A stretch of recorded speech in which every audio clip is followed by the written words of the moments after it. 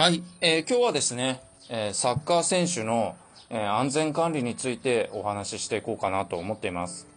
えー最後までお付き合いください。よろしくお願いいたします。ということで、えーと、今回、えーなんでこの定番を扱ったかという動機についてお話しします。えーそれはですね、えっ、と、8月4日に、えっ、と、田中海馬さんが、えっ、と、松本山雅の旧経営陣に対して、えー提訴したっていうお話なんですが、その中でね、どうやら、その、あの、彼が多分エグゼクティブアドバイザーをやってる時に、えっ、と、まあちょっとトラブルがあったわけですよ。で、おそらくだけど松田直樹選手のこともちょっと絡んでるのかなと思って、えーそれについてのお話だったり、まあ、まずはね、あのー僕もね、事情よくわからないで、まあ、その、エグゼクティブアドバイザーを1年でね、ぶん投げてっていう話しちゃったと思うんだけど、ごめんなさい、事情知らないで、田中選手。あ、まあ、田中選手じゃないね、田中ハイマさん。はい。申し訳なかった。うん、1年でぶん投げるのどうなのって僕もちょっと思ったんだけど、そういういろいろな裏事情も知らないで、まあ勝手なこと言っちゃって、本当申し訳ない。えー、ということで、えー今日は、えーサッカー選手のね、安全管理についてお話ししていけたらなと思っております。はい。で、なんでね、この話しようかって考えたときに、ちょうどね、8月3日の日に、えっ、と、長野で、あの、ビンツル祭りっていうのがあるんですよ、毎年。で、松本だと松本ボンボンがあるのかな？はい。で、あのー僕の取引先の、えー会社が、その、ビンズル祭りに出るので、なんか踊るんですよ。えー長野市街地を、をなんか踊り歩くんですよね。僕もあんまりこう、ビンツル祭り詳しくわかってないので、あのーそこは割愛させていただきます。それで、僕はその取引先の、えー会社に、会社の皆様に、あのー飲み物を、えー提供するために、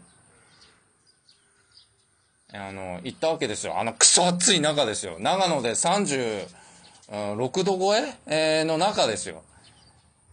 でね、これちょっとお願いなんですけど、あのー長野商工会議所とか、松本商工会議所の方にお願いなんだけど、あのもうこれだけ気候変動してるので、そろそろ、あのー開催時期変えませんか？ええ。もう僕らがなんか二次災害、三次災害に遭う可能性もあるので、ええできれば勘弁してもらいたいと。ええ。いうことです。要望としてはね。で、その、ビンツル祭りに行った時に、あの、何があったかっていうと、えっ、と、ちょうどね、あの、松本、あ、松本じゃねえ、長野、長野パルセイロの、あ選手の一団みたいなのだったり、サポーターの一団見かけたんですよ。んで、その中に大野選手がいて、まあもう、わかるでしょ？松本のサポーターだったら。もう、明らかに、あ心ここにあらずみたいな感じで、あの、半ばや、やけっぱちでやってた感じなんですよ。もう、かったるい感じで。で、まあ、それを、長野パルセイロのおっさんが睨んでるわけですよ。まあ、それ見たときにね、思ったんですけど、あの、そもそも、あの、このビンツル祭りだったり、ま、松本ボンボン、あの、開催時期を、あの、早めたり、あるいは遅らせたりすれば、こういうことって起きないんですよね。で、ちなみにね、その8月3日の日って、あの、長野市で、えっ、とね、えっ、と、高温アラートっていうのが出てたんですよ。音声で、あの不要不急の外出はおやめくださいみたいな感じで。にもかかわらず、瓶釣り祭りをやるって。で、思ったんですよ、僕。あのーサッカー選手もね、やっぱり、オフがあっていいわけですよ。あの、休むのも、あの、仕事のうちなんですよね。ちょっとサポーターの人に言いたいんだけど。そうなんですよ。休むのも仕事のうちなんですよ。だから大野がそういう顔するのも無理ないんですよ。オフなのになんでこんな思いしなきゃならねえんだよっていう気持ちは彼の中で多分あったんだと思うんですよね。でね、これも結局、あの、長野商工会議所や松本商工会議所の人たちが、きちんと考えてくれりゃいいんだけど、慣例に従って、あの、お祭りをやるわけじゃないですか。あの、アンケート取ってもらえないですかね？うん。開催時期を早送りにするのか、あるいは遅らせるのかっていう形で。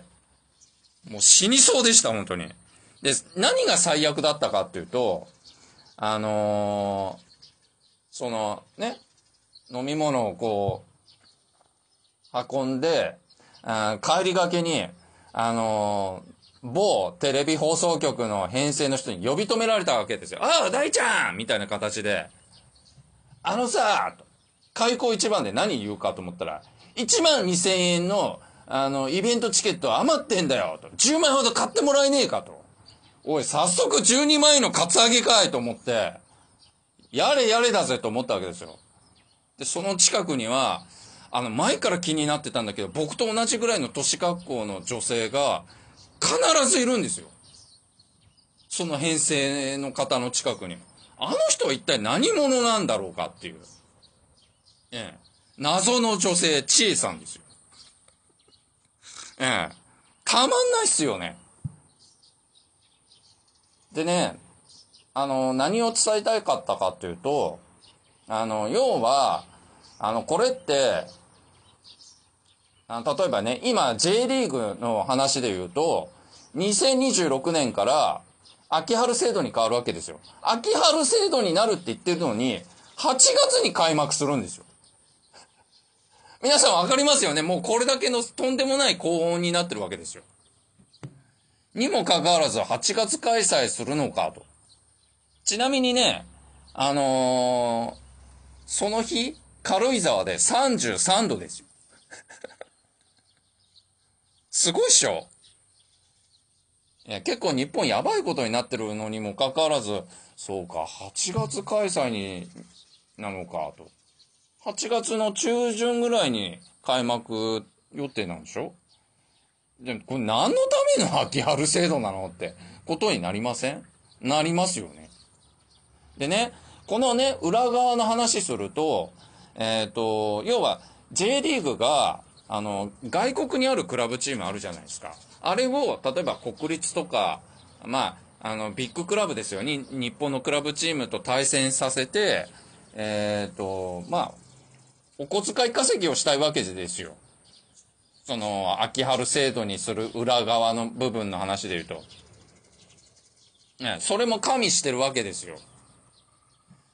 で、あのー、SNS とかでさ、あの、見ると、その、ここ最近の話で言えば、パリ五輪、今、絶賛開催中じゃないですか。あのー、まあ、その、アスリートに対しての誹謗中傷が絶えないわけですよ。その、アスリートだけじゃなくて、えっ、ー、と、なんだっけ、最近だと、なんだっけ、芸能人のやす子さんに対して、フワちゃんがなんか、あ誹謗するようなあことを言ってたりとかね。で、それが問題になったりとか、あったわけじゃないですか。で、なんでこういうこと起きるのかなって考えたときに、結局、暇だからなんだよね。うん。暇って良くないんだよね。そうそう。でさ、あのー、思い出してほしいのが、あの、松田直樹選手の死って、あれって、防げた可能性もあるんだよね。ちゃんと周りの人間が、例えば気を使っていれば、まあ、クラブチームもそうだし、松本山がもそうだし、あの、サポーターの人も、そこで、えー、何か、あの、気がつけたら、あ防げた事故なんだよ。っていうのはさ、なんでかっていうとさ、選手って練習が始まったらさ、やっぱり一生懸命やんなきゃならないじゃん。自分でブレーキ変えないの。だよね。だからこそ、その、クラブチームのスタッフだったり、あの、サポーター練習を見守ってるサポーターが、あの、ブレーキ役をしてあげなきゃいけないんだよね。そうなのよ。で、松田選手からの死をきっかけに何が起きたかっていうと、長野県内で、あの、主要な、えー、っと、なんていうの？公共施設とか、あとスーパーか。スーパーとかでも AED が配布されるようになったんだよね。うん。あれは松田選手の死をきっかけだと思うんだよね。もう至るところで AED って設置されたんですよ。長野県内で。はい。でね、あのー、松田選手の死っていうのは、あのー、なんて言うんだろうな。僕にとってもね、いろんなものを考えさせる出来事であったんですよね。えっていうのは、彼だってさ、生きていたらいろんなことやりたかったはずなんですよ。それこそ、あの、僕みたいに、あの、まあ、僕の場合だと来年にはさ、孫の顔が見れるんですよ。はい。で、そういうことだったり、人としての喜びをいろいろ味わう可能性があったわけですよ。にもかかわらず、そういう、なんて言うんだろうな、この自己死っていうのは、あの松田直樹選手の、あの死で十分だと思うんですよ。松田直樹選手の死って重いんですよ。軽くないんですよ。あの、ね、時間が経過するとだんだん風化していくじゃないですか。ね、人間って、あの、失敗しないと学ばない生き物なんですよ。僕もそうなんだけど、いろんな失敗を重ねないと、あの、最善のことっていうのを、こう、導き出せないんですよね。いや、本当に。だからこそ、今だから、あのー、多分田中選手も、あ、田中選手じゃねえ田中ハイマさんも、えっ、ー、と、何か感じる部分があったと思うんですよね。あの、サッカー選手の命がなんとなく軽んじられていたりとか、あの、今回のパリ五輪で、えー、そのアスリートの人たちに対しての誹謗中傷が、絶えなかったりとか、っていう部分で、彼なりに考えた結果、そういう、あの、松本さんに対して提訴っていう動きをしたんだと思うんですよね。で、僕もなんで8月3日とか、この8月上旬になるとなんか暗い気持ちになるんですよね。どっかやっぱり松田選手の顔っていうのが思い浮かんできて、ああ、なんかこ、今年もこの季節が来たか、みたいな、なんか重苦しい雰囲気っていうのがあのー、出ちゃうんすよね。でさ、あのー、その、びんずる祭りの一件もそうなんだけど、ね、びんずる祭りや松本ボンボンの一件もそうなんだけど、あの祭りをやるためにさ、例えば、救急救命医の人が待機してなきゃいけないんですよ。もしものことがあったら、あのー、すぐに病院に搬送できるように。でも、その救急隊員だって限りがあるわけよ。限りにもあるのにもかかわらず、あの、待機してなきゃいけないわけじゃないですか。で、その救急隊員の人が違う場所にいたら、あの、他の救える人の命っていうのもあるんですよね。あるんですよ、確実に。だからそういうことも含めて、なんか、全員にとって、なんか有益な方法っていうのが絶対あるはずなんですよね。うん。まあ、ちょっとそのびんずる祭り見て思ったのが、あのー、まあ別に82銀行の行員さんが焼け死んでも僕何とも思わないんですよ。正直言うと困らないしね。ちょっと失礼な言い方するけど。うん。でも、あのー、なんて言ったらいいんだろうな。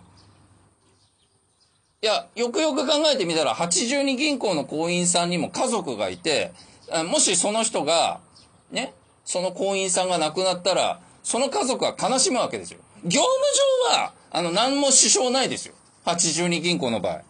ええ。だって自己資本率が2割ですから、ね。ほとんど仕事してないのも当然ですよ。地方銀行で2割超えてるとこなんかなかなかないっすからね。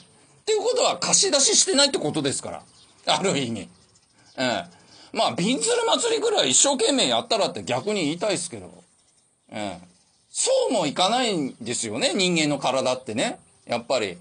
あのー、アスリートじゃないからさ、限界値があってさ、あのー、その、瓶釣り祭り参加してる中に体力のない人だったらさ、あのー、そこで熱中症になって、急性心不全とかになって亡くなっちゃう人だっているわけですよ。そうなんですよ。ましてや、あ松田直樹選手みたいに鍛えてるアスリートであってもさ、あその日の体調とかにもよるし、その日の気象条件によって亡くなっちゃうっていうこともあるわけよね。やっぱりさ、これ、ね、日本サッカー協会の宮本恒康会長とか、あのー、野々村チェアマン、J リーグの野々村チェアマンに言いたいんだけど、選手の命ってそんなに軽いの？なんか昨今本当に、あのー、この夏のインターバル、ね、を利用して、海外クラブチームと、えー、いろんなクラブチーム、日本のビッグクラブチームとの対戦をさ、頻繁にやってるけどさ、そんなに、あれでしょ工業も芳しくないわけでしょそれは当たり前だよね。こんな草暑い時に誰がサッカー見たいよ。よっぽどのバカじゃない限り、厳しいよね。でも、あの、小遣い稼ぎするために、あのー、選手の命は二の次でさ、えー、もうとにかくお金稼ぎたい、稼ぎたい、稼ぎたいでしょ？どうなのかなと。でね、あのー、その8月6日に、あのー、なんか、パルセロでビラ配りの人募集みたいなことやってたんですよ。いや、ビラなんか配ったって来ないからもう。うん。そんなに、あの、ビラ配って試合に行くほど甘くないから世の中。いや、本当に。もう少し考えた方がいいと思うんだよね。でね、あの、8月4日ってどういう日にしたらいいかなって考えたときに、あ、そうだ。まあ、8月3日、4日、あるいは2日でもいいんだけど、あの、松田直樹選手の死っていうものを無駄にしないために、あの、各クラブチームで安全確認の日にしないかっていうことを僕は提案したいんですよね。いや、本当に。要は、その8月の上旬は、あのー、サッカー選手の、えー、安全確認あのー、練習の時にちゃんと安全が確保されてるかどうかっていう確認をする、習慣にしない？なんかほら、交通安全運動活動みたいなのあるじゃん。あの、交通安全の啓発活動みたいな、なんか月間みたいなのあるじゃん。あれと同じように、なんか、あの、サッカー選手の、うーん、なんていうの？安全確認をする、啓発活動の週にしたらどうかなっていうふうに思った。そうしたら、なんか、松田直樹選手の死っていうのが、なんか、うん、無駄にならないような気がするんだよね。まあ、この提案が合ってるかどうか俺わからんけど、でも、あのね、僕もね、ちょっと思うところがあって、それ何かっていうと、あのまあ、例えばさ、各クラブチームのユースだとか、まあ、中学生、高校生でもいいんだけど、ある行動がちょっと気になったんだよね。夏場にさ、皆さん、その、スポーツドリンク飲むと思うんですよ。練習終わった後とかに。それ自体はいいんだけど、そうじゃなくて、あの、水筒？水筒に、あの、スポーツドリンク入れて、あの、いられる子がいたんですよね。で、それを回し飲みとかしてたんですよ。水筒に入れた、えっ、ー、と、スポーツドリンクをこう、ななんていうの？あの、部活とか、まあ仲間内でこう回し飲みみたいなする行為をしてたの時に、はっと思ったんですよ。仮にね、あの、その、水筒、ね、水筒の中身の話すると、ステンレス、あ、要は銅の周りにステンレス加工して、あの、保冷みたいな形にしてあるんですよ、水筒って。で、仮によくお母さんたちがよくやるのが、その水筒をこう洗うときに、あの、スチールだわしみたいのを使う人もいるんですね。あれすごく危険なのよ。なんでかっていうと、要は、ステンレスがこう剥げて、銅が剥き出しになった状態で、クエン酸、要はさ、スポーツドリンクの中に含まれてるクエン酸と化学反応起きた時に、あの、銅中毒になりやすいのね。そうなの。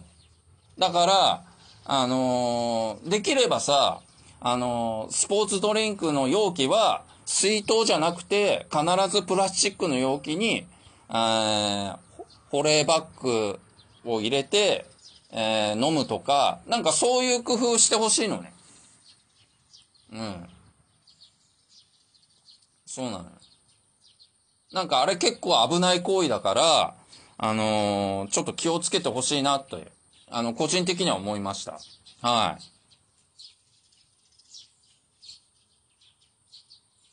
あの、ごめんね、さっき、あの、82銀行の人は、いや、あの、焼け死んでもいいなんて言っちゃって。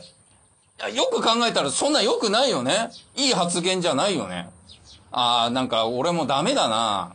なんか、SNS のなんか誹謗中傷に毒されてるかもしれない。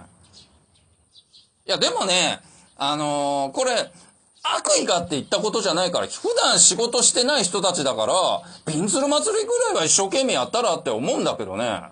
俺だけかねまたこれ聞いたら行為の人怒っちゃうからね。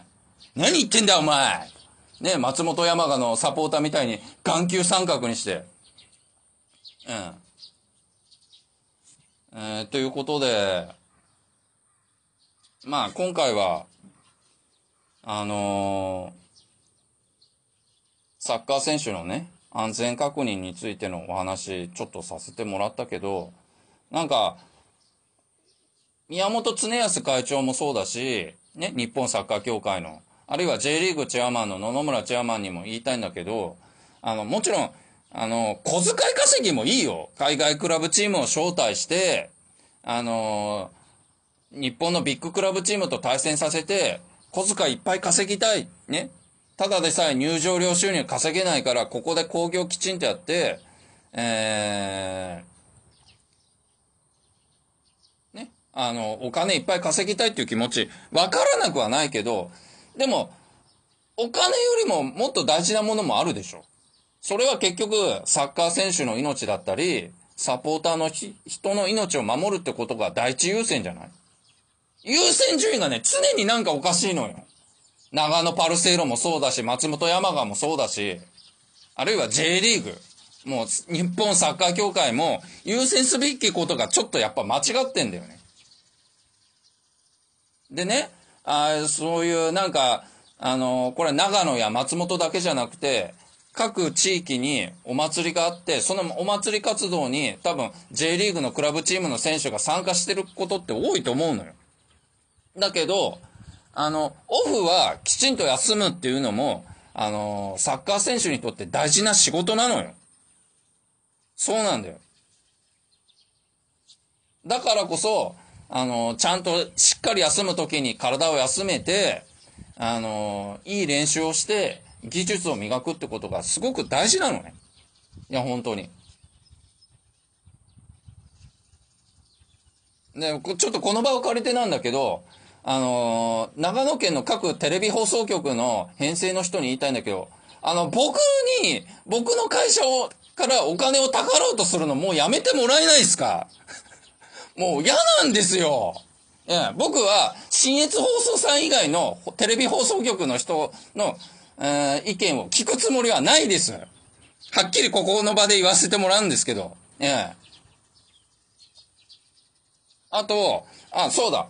あの、村越、松本山雅にいる村越選手にちょっと言いたいんだけど、あのね、村越の課題って、あのー、私生活においてもそうだし、あのー、サッカー選手としてもそうなんだけど、あの、ブレーキなんのよ。あの、何かっていうと、そのブレーキって何かっていうと、自動車あるじゃん。自動車も、あのー、馬力じゃなくて、実は、制動の馬力の方が大事なんだよ。そうなのよ。それを、あのー、私生活からもそうだし、あの、練習でもそうなんだけど、意識し、して、あの、練習に取り組むと、もっと上手くなれると思う。うん。制動の馬力の方が3倍力必要なのよ。車って。車もサッカー選手も一緒なのよ。ブレーキングが大事なのよ。うん。お前事故ってるだろ。うん。相手の人、あの、重傷じゃなくてよかったよな。うん。でもね、村越は私生活からすぐね、あのお調子に乗って、あの、物事をやっちゃうでしょ。あの、シンプルにバカなんだよ。もっと考えながら行動すれば、もっと上手くなれる選手なんだよ。うん。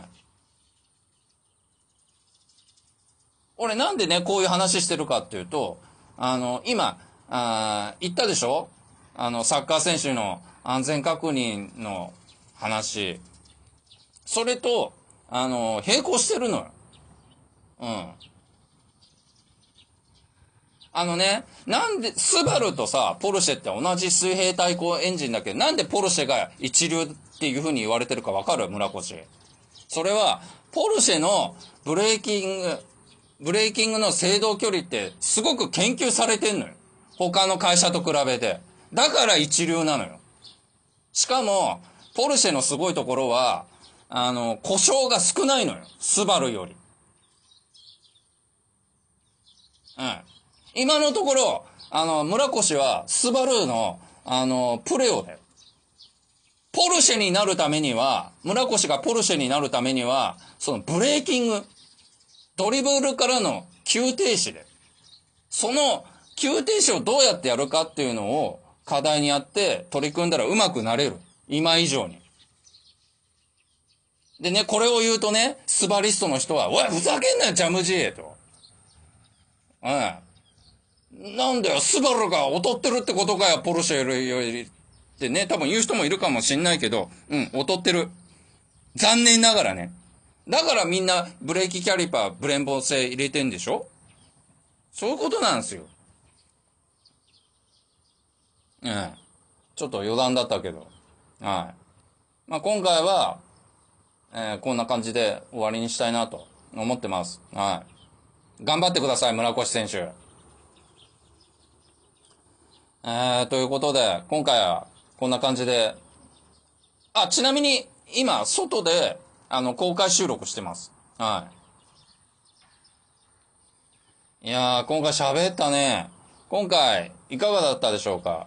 よかったら、チャンネル登録よろしくお願いいたします。え、ご視聴ありがとうございます。